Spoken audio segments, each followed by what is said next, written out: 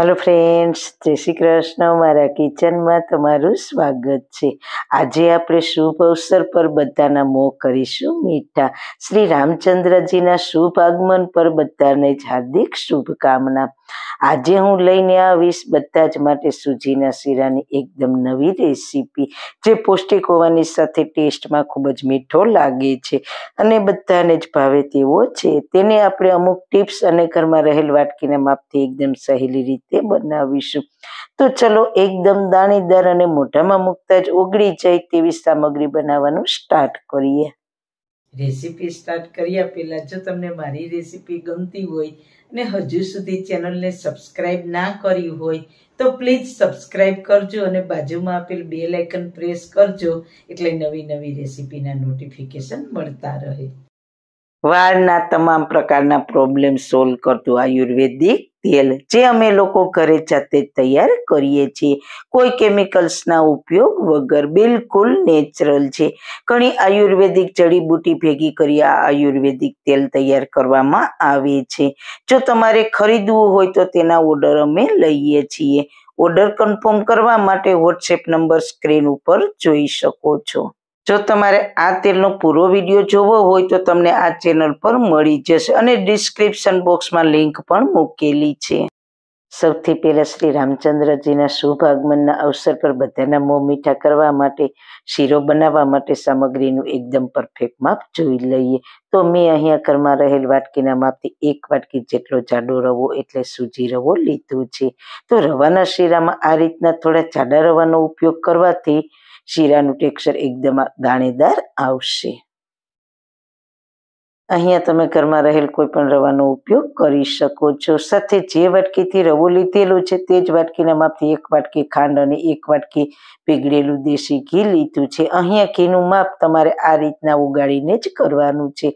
તો છેને એકદમ સહેલું માપ ઘરમાં રહેલા કોઈ પણ એક વાટકી સેટ કરી લ્યો અને તે વાટકી પ્રમાણે એક વાટકી જેટલો સૂજી રવો એક વાટકી ખાંડ અને એક વાટકી ઘી લેવાનું છે. ત્રણેયનું માપ સરખું લેવાનું છે. હવે જે વાટકીથી રવો લીધો છે તે જ વાટકીથી ત્રણ વાટકી દૂધ તપેલીમાં ગરમ મૂકીશું. એક વાટકી રવા સાથે ત્રણ ગણું એટલે કે ત્રણ વાટકી દૂધ લેવાનું છે. આ શીરાને તમે પાણીમાં પણ બનાવી શકો છો. પણ દૂધમાં બનાવેલો શીરો ખૂબ જ ટેસ્ટી બને છે. પાણીનું માપ પણ તમારે દૂધ જેટલું જ લેવાનું છે. દૂધમાં થોડા કેસરના તાતણાને એક ચમચી ઘી એડ કરીને સારી રીતના મિક્સ કરી લઈએ. દૂધમાં થોડું ઘી એડ કરવાથી જ્યારે આપણે તેને શીરામાં એડ કરીશું, એટલે શીરો એકદમ સોફ્ટ બનશે. દૂધને સારી રીતના ગરમ કરવાનું છે. ગરમ દૂધ જ્યારે રવામાં એડ થશે, એટલે રવો તેને સારી રીતના એબ્ઝોર્બ કરી લેશે. આપણું દૂધ ગરમ થાય છે ત્યાં ફટાફટ શીરાને બનાવવા માટે પેનમાં એક વાટકી ઘી એડ કરી દઈએ અને ઘીને ગરમ થવા દઈએ. ઘી ગરમ થાય એટલે તેમાં રવાને એડ કરીને ગેસની ફ્લેમ ધીમી કરીને રવાને સારી રીતના શેકી લઈએ.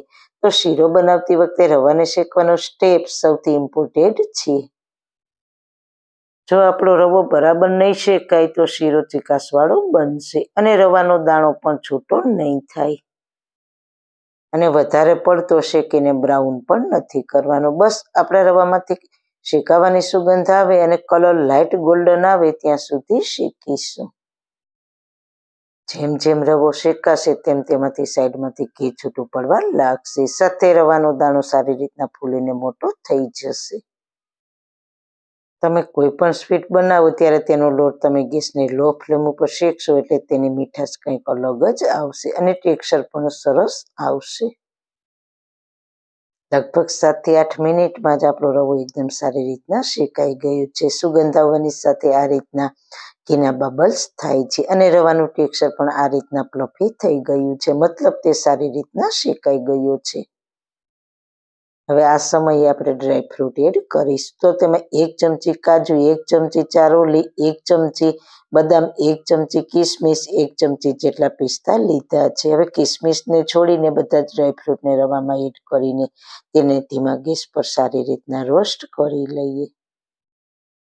તો આ સમયે રવા સાથે આપણા ડ્રાયફ્રૂટ્સ એકદમ ફટાફટ રોસ્ટ થઈ જશે. હવે થોડી વાર પછી કિસમિસ એડ કરીને તેને પણ સારી રીતના રોસ્ટ કરી લઈએ. કિસમિસને રોસ્ટ થતાં થોડો ઓછો સમય લાગે છે એટલે તેને પાછળથી એડ કરી છે. ફક્ત એક જ મિનિટમાં આપણા ડ્રાયફ્રૂટ સારી રીતના રોસ્ટ થઈ ગયા છે. હવે દૂધને જોઈએ તો દૂધ પણ સરસ ગરમ થઈને ઉકળવા લાગ્યું છે. તો તેને શીરામાં એડ કરી દઈએ. થોડું થોડું એડ કરતા જઈશું. અને શીરાને હલાવતા રહીશું. તમે જોઈ શકો છો, દૂધ ગરમ હોવાથી રવો એકદમ ફટાફટ દૂધને એબ્ઝોર્બ કરી લે છે.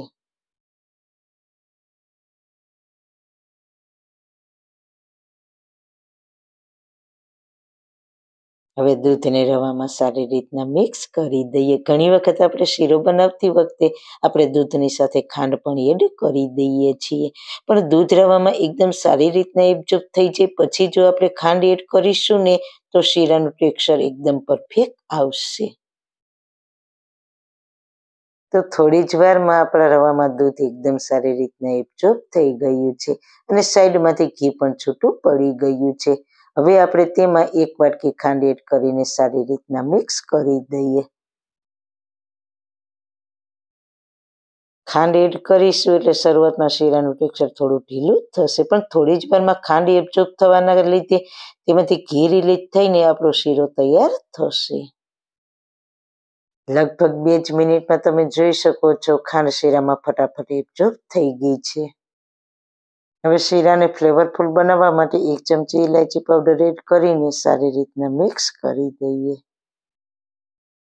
તો આપણો શીરો તૈયાર થઈ ગયો જે રવાનો દાણો એકદમ દાણેદાર હોવાની સાથે શીરાની સાઈડમાંથી ઘી પણ સારી રીતના રિલીઝ થઈ ગયું છે. હવે ગેસની ફ્લેમ બંધ કરીને ગરમ ગરમ શીરાને સર્વિંગ બાઉલમાં સર્વ કરીશું. તો છે ને એકદમ મજેદાર સૂજીનો શીરો ટેસ્ટમાં તો એટલો લાજવાબ છે ને, એકવાર તમે ખાશો ને તો વારંવાર બનાવવાનું મન થશે. તેવો એકદમ દાણીદાર અને ઘીમાં લચપચતો તો આપણા શુભ અવસર પર ત્યોહાર પર જરૂર બનાવજો. ઘરના બધાને ખૂબ જ પસંદ આવશે. તેનું ટેક્સચર મોંમાં મૂકતા જ ઓગળી જશે. તો જરૂર એકવાર ટ્રાય કરજો. તો સારું ખાઓ ખુશ રહો. આવી સરસ રેસીપી જોવા માટે તમારો ખૂબ ખૂબ આભાર.